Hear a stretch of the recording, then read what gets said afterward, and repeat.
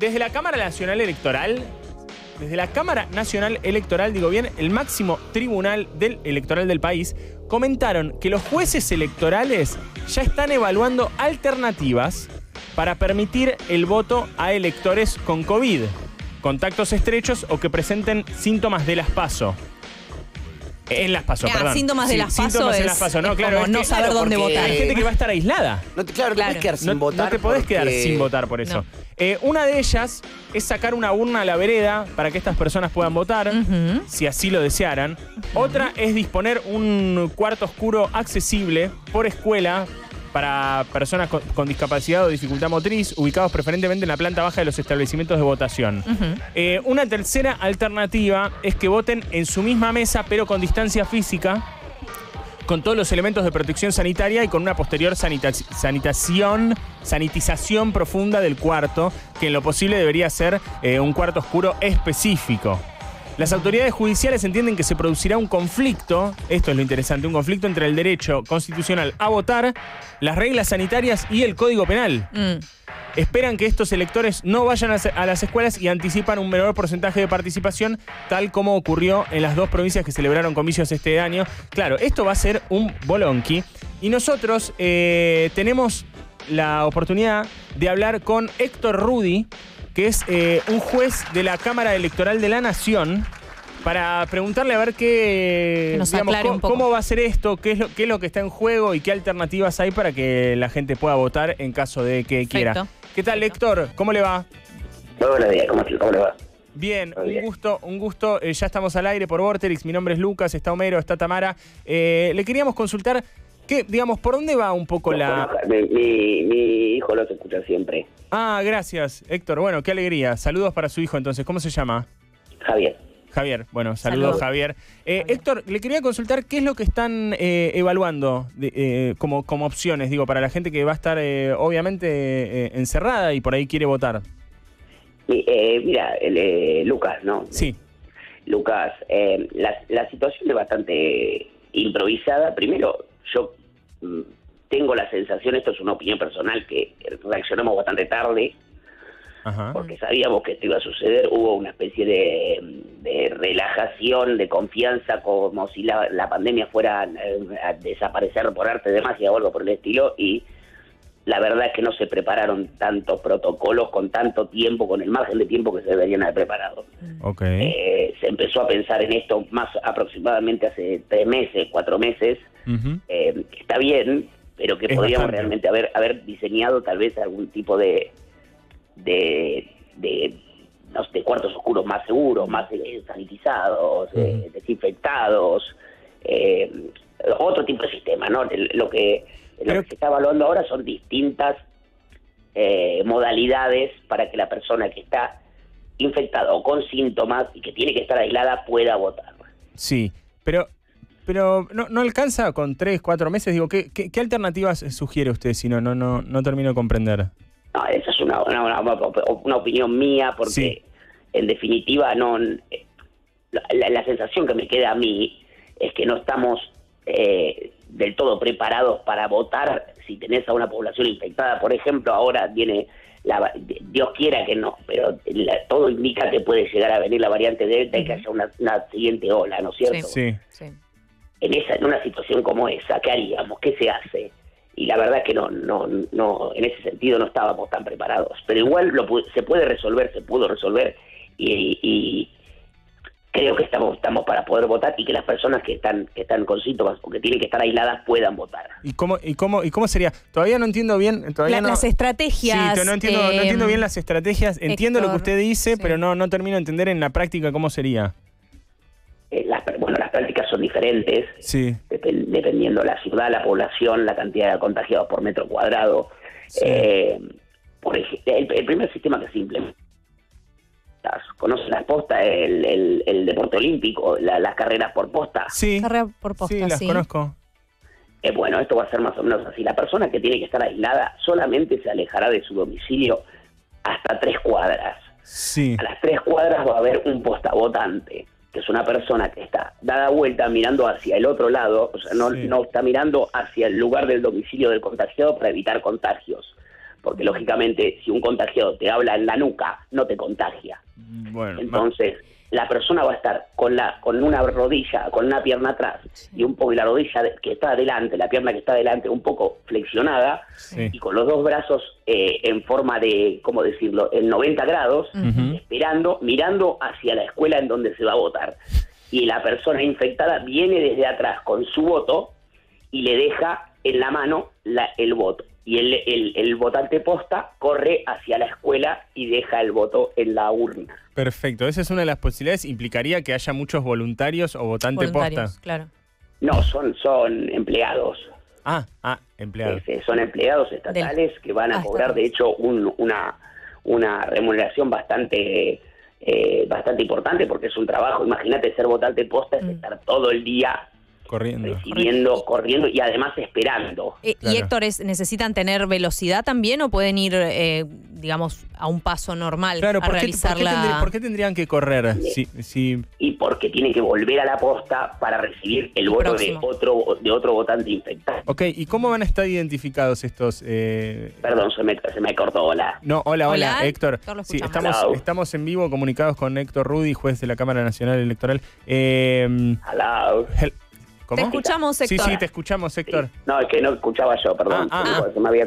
Eh, ¿Y cómo estarían identificadas estas, estas personas que harían la Claro, posta? porque si no le, le das tu voto Claro, a quién y, estaríamos se- dando- y- ¿cómo sabemos impugna el que- voto, claro. ¿qué sabemos? Bueno, la persona va a tener, eh, tiene una, tiene un chaleco verde, tiene un pantalón verde, dice vote, eh, creo que dice eh, anímese a votar, Ujú. Ah, eh, eh, el voto es sagrado y tienen un sombrero largo que les tira, eh, a ver cómo explicarlo. Conocen la, eh, bueno, ya muy de mi época, iba a decir, iba a decir algo de- de- muy de mi época. Había una serie cuando yo era más, más chico que tenían unas cabezas como de huevo. Los coneheads. Exactamente, Sí. sí. Bueno, mira cómo, cómo conocen siendo tan jovencitos. Eh, el- bueno, Sí, me me va a tener un sombrero parecido a ese, pero para atrás. Ah. Lo cual le da más aero- aerodinámica Claro. y más velocidad para llegar a la, a la urna para meter el voto. claro. No entiendo bien por qué tienen que ser tan veloz si hay todo el día, pero no importa, También Héctor. tienen unos guantes largos, tienen están totalmente protegidos porque son tienen que estar en contacto con gente que está contagiada. Claro. Eh, Y eh, como como y se sospecha que el, el- el coronavirus es bastante contagioso. no, no, no, no se Entonces, sospecha, no se eh, sospecha, está clarísimo, es eso. decir, hay versiones de todo tipo, ¿no? Pero No, no, no, no, no, no, versiones no, no, no, no entremos en- una es muy- persona a otra. Mm. Entonces, eh, el, el, el, el, el conhead votante, posta votante, Sí. así le decimos, conhead posta votante. Claro. Eh, ¿Se va a llamar así técnicamente? Él está quieto en una, en una esquina y espera el voto y tiene un guante, tiene guantes hasta los codos para no entrar en contacto con el virus. Sí. Y los guantes tienen unas pequeñas aletitas Sí, que le aportan aerodinámica y velocidad. ok. Eh, Héctor, le hago una pregunta. ¿Hay otra? Y a la altura de la pantorrilla una pequeña botecita de agua, también aerodinámica, para poder hidratarse. Perfecto. Eh, Héctor, le hago una consulta. Además de esta opción, ¿están, están vislumbrando otras eh, para que puedan votar? Muchísimas más. Ah, a ver, Sí, no, no, esto es una. En realidad, el, el, el conhead se va a hacer solamente, en realidad, solamente en una parte de Lomas de Zamora. Ah, Ah, ah, o sea que nos, ah, ah, nos ah. detuvimos demasiado en algo muy específico. Claro. Entonces le pido por favor si puede contarme más, más Son alternativas. cuatro. Ah, a ver. Oh, No, son cuatro los conhead, digo. contratados Ah, hasta el día de hoy, que van a ah, estar. muy Esa es una de poquito. las posibilidades. Ah, ¿y qué otra posibilidad hay? La segunda posibilidad es el entrenamiento canino, que siempre son muy fieles. Ustedes saben que el mejor amigo del hombre es, eh, en general, otro hombre, pero también el perro. Eh, Sí. Y el perro eh, no se contagia de coronavirus. Eso está Eh, prácticamente comprobado. Y entonces, a lo que a lo que apuntamos es que un perro lazarillo entrenado Sí. vaya a recoger el voto en el domicilio Ah. y lo lleve hasta la urna. Ok. Bueno, esa opción. lo cual a veces puede, eh, sí, como decía tu Sam, que es mi gran ídolo, Ah, sí. puede fallar. mm. Claro. ¿Y el perro? El perro, eh, no sé, se puede enredar en una, en una, en una pelea de perros, en una timba de perros, Mm. en un, en- ¿Cómo en una Eh, no sé, de un paseador de perros y se hace amigos de, Claro. de otros perros y se, va Se de distrae, viaje. claro. En el Claro. camino se distrae y tiene que hacer un montón de viajes en el día. Lo, lo de timba de perros, Es como. un animal aventurero. Sí, Sí. eso es verdad que el perro es un animal aventurero. Es, es un animal Lo es. Eh, le preguntaría lo que es la timba de perros, pero, pero eh, prefiero por ahí avanzar en qué otras alternativas están ustedes eh, eh, manejando. como Hola, hello. Sí, he- hello, hola, eh, Héctor. Está... Ah, se me había cortado. Ah, perdón. ok, ok. Héctor, eh, ¿qué otras alternativas están, están manejando?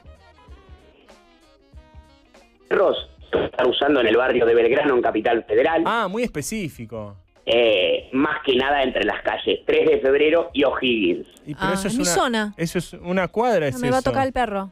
Exacto, es, es- una cuadra. Ay, bueno, Héctor, claro. ento- Entonces por ahí podemos ir a. a- me puede contar mecanismos más, más más macro. generales, claro, porque si no estamos hablándole a, a públicos muy, muy específicos. Sí, sí, sí.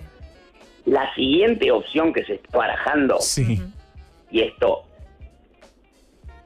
esto es de extrema confianza, sí.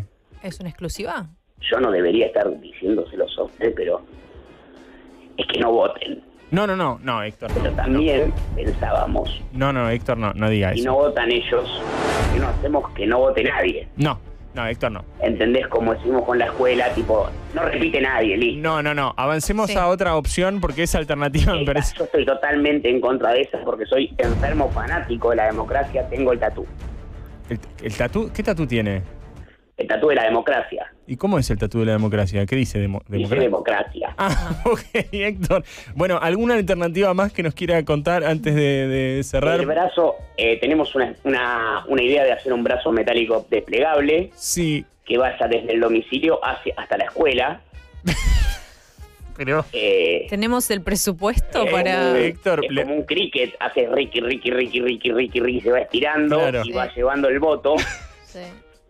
Eh, pero también hubo problemas porque, nada, a uno, eh, la primera persona que lo probó lo chocó contra un colectivo, Claro. por ejemplo, porque tenía que cruzar calles. control. Claro, y que además, Me Héctor, complicó bastante cómo te puede pasar con el perro que se va en aventuras de- de- con otros perros. claro, Héctor, yo le cuento, por ejemplo, en mi caso, yo estoy a siete O cuadras. también pasó, pasó con un conje que siguió, co- se pasó de la escuela y siguió corriendo y siguió corriendo y corrió hasta Tucumán. Con el voto en la mano. ¿Por qué no le Haría explicaron que. Y falleció.